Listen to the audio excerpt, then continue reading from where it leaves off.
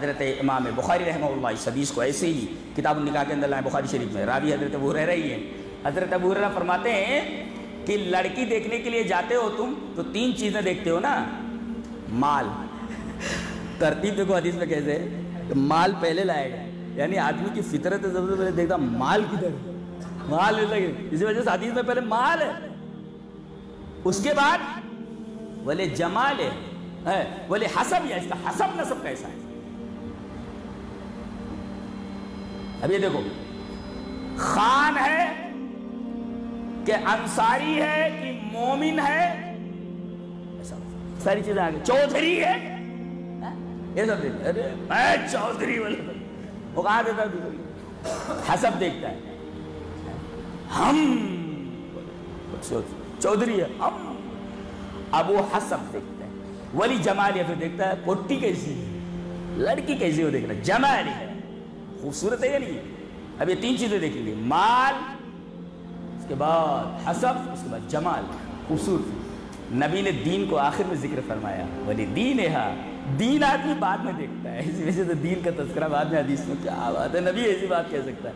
ये तरतीब नबी ही की हो सकती है। पहले आदमी माल देखता है, फिर हसब नसब देखता है, फिर उसके बाद जमाल देखता है। और आखिर में दीन देखता है, ठीक है नमाज़ नमाज़ नहीं पढ़ती है, चलेगा, रोजा वोजा नहीं रखती है, चलेगा। माल तो ला रही है, खूबसूरत तो है।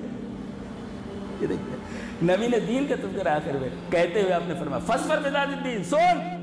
कामयाबी चाहता है ना, ज़फ़र ज़फ़र माने कामयाबी। कामयाबी अगर चाहता है निजातुद्दीन दीन वाली लड़की को ले आ। जी, दीन वाली लड़की को ले आ। ये लड़की को पसंद करने का मैार। तरतीब आपको समझ में आ रही है ना? जी। शादी क्या है? नबी की सुन्नत। शादी कैसे करना? पसंद करो। पसंदीदगी का मैार क्या है? लड़का। अखलाक वाला हो और दीन। लड़की, दीन वाली। आप एक दीनदार लड़की घर में लाते हैं, जानते हैं? तो आप दीन घर में लाते हैं। दीन घर में आते दीन को कौन घर में ला रहा है? कोई ले जाने के लिए तैयार नहीं। नबी की सीरत पढ़ी है एक पहलू दिखाता हूँ। मक्का में और अरब में कायदा ये था कि जब बच्चा पैदा होता किसी बड़े आदमी के यहाँ तो माँ दो चार दिन दूध पिला देती थी। उसके बाद मुख्तलिफ़ कबाइल से औरतें आती थी और बच्चों को छांटती थी। वो ले जाती थी। अपने गाँव में उनकी परवरिश करती थी, उनको दूध पिलाती थी। उनकी निगरानी करती थी और जब बच्चा बाशूर हो जाता था, थोड़ा बड़ा हो जाता था, उसके माँ बाप के हवाले कर दिया जाता था और उसको पैसे मिलते थे। जिस साल नबी करीम सल्लल्लाहु अलैहि वसल्लम की पैदाइश हुई, उस साल भी सब आई थी। हलीमा भी आई थी। जिस खच्चर पर, जिस गधे पर वो सवार थी, वो चल नहीं पाती थी, गधी थी। वो चल नहीं पाती थी। अब तमाम औरतें जो आई थी, उन्होंने चुन चुन करके। हमारे यहाँ क्या बोलते बिछ बिछ के। ले ली चुन चुन करके बड़े घरों के लड़के ले लिए। हमारे नबी को लेने वाला कोई नहीं था। बोले, यतीम है ये, बाप नहीं है बाप नहीं है इसका। क्या मिलने वाला है? क्या मिलने वाला है? बड़े बड़े घरों के लड़कों को दाइया ले गई। हमारा नबी वैसे ही रह गया। कोई उसको ले जाने के लिए तैयार नहीं, इसलिए कि यतीम है। इसका बाप नहीं है, पैसा नहीं मिल सकता। लेकिन हलीमा समझ गई। ठीक है, इसका कोई नहीं है, मैं ले जाती हूँ इसको। हलीमा अपने घर में दीन ले गई। खच्चर की रफ्तार सबसे सुस्त सबसे ज़्यादा हो गई। और बरकतें ऐसी, आप तारीख उठा करके दे सीरत की किताब उठा कर देख लीजिए। दीन लेकर के आओ। जैसे हमारे नबी को ले जाने वाला कोई नहीं था, ऐसे गरीब लड़कियों को ले जाने वाला कोई नहीं है, दीन को ले जाने वाला कोई। कितने बदनसीब हो तुम लोग। कितने बदनसीब।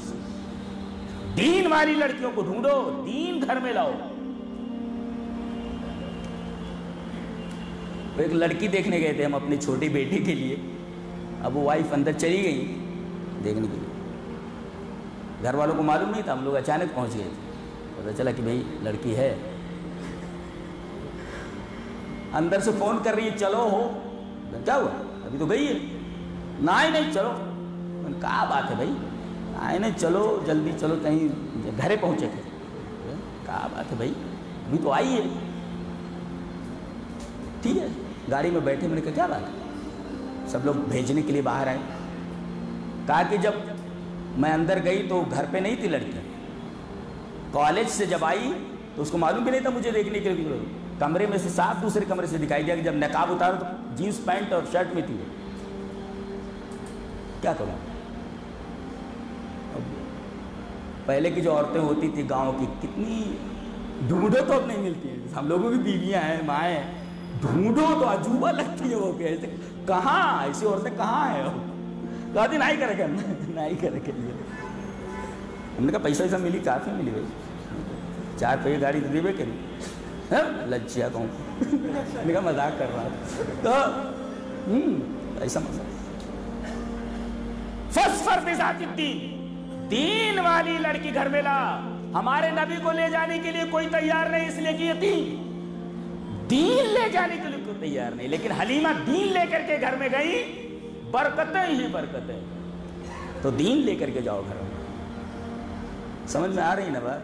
समझो, अच्छी